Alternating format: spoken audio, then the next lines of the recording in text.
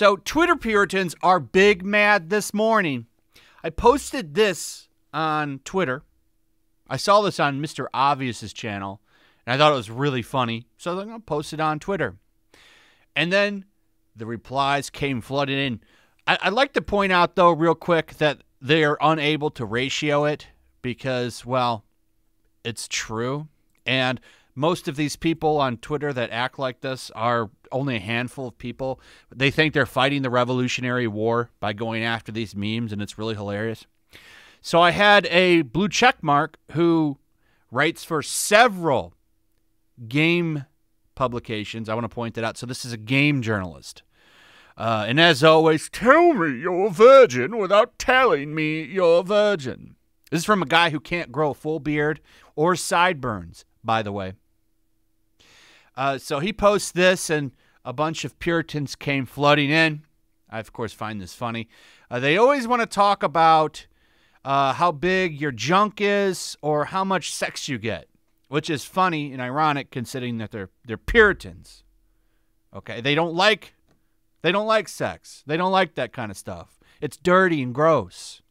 Uh, most of them all live with cats, uh, drink cheap boxed wine all day, and hang out at Starbucks. So, uh, yeah, Deadwood Dale makes a good really point. He makes a really good point here. I thought this was uh, this was good to show. So here comes some of the replies. As you can see, following that, his his D fell off because a woman looked normal in a video game.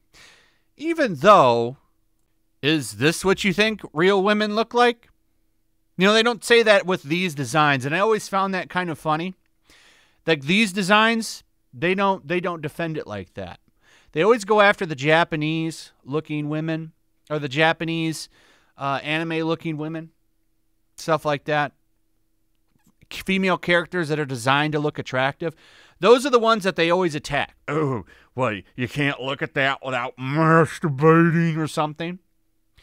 But these these are what real women look like apparently. Uh, you see them all the time at the grocery store, uh, when you're out, you know, doing some errands, getting gas. I see women that look like this all the time, but it never happens with this, ever. I, I thought that was another good point with showing here. This is from Bud the Art Guy number one. Also making a very, very good point here. Uh, then we get stuff like this spectacularly down bad.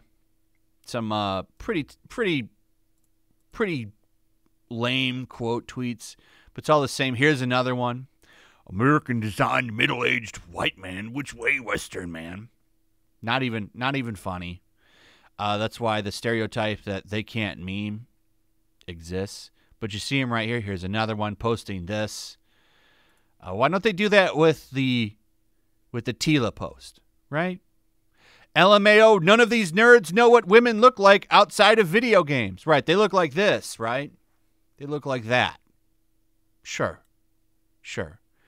Inventing new ways to be mad about your pornos respect. It's always about it's always about sex. Every time. Oh, then they point out that it's a Finnish company. Who cares?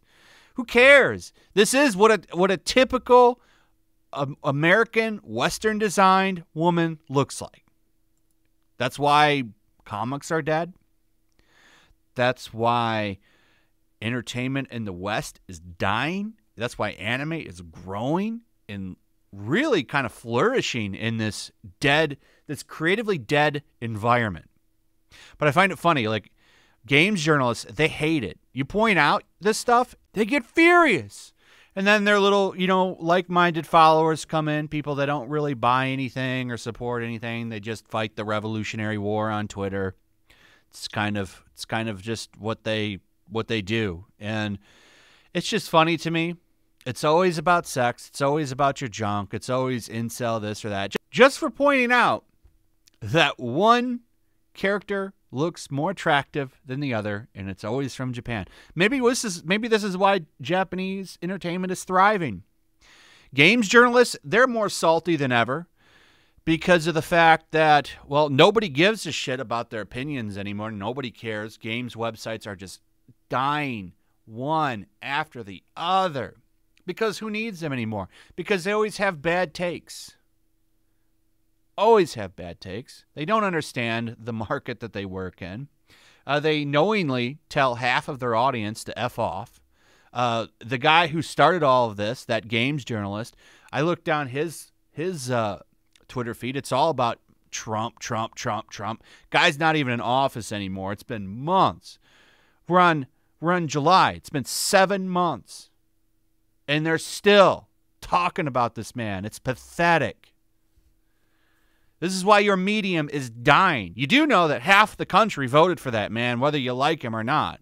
This is this is the problem with a lot of these businesses. They're willingly uh, just mocking half of their customer base. Anyway, let me know what you guys think about all this. I'd like to hear your thoughts on the subject. Also, if you would please like, subscribe, share the video. Make sure you're still subscribed. Hit that notification bell. And I'll see you guys on the next one. Peace. Also, if you want to help support the channel, check out my Teespring store. There's a link in the description. You can find some merchandise in there that you might want to check out. Also, take a moment, make sure you're still subscribed to the channel. Uh, there's something going on right now, and they've been unsubscribing people. So just take a second and double check on that and subscribe if you're new.